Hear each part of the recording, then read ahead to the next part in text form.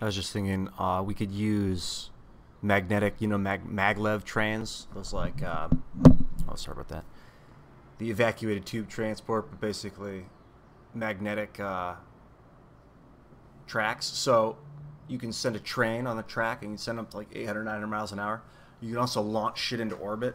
So we can launch a craft like you just target Mars or wherever you're flying to and super accelerate it out of orbit directly into Mars. And as soon as it gets to Mars, it hits the dock and gets super decelerated by another magnet. And you can go from planet to planet super fast.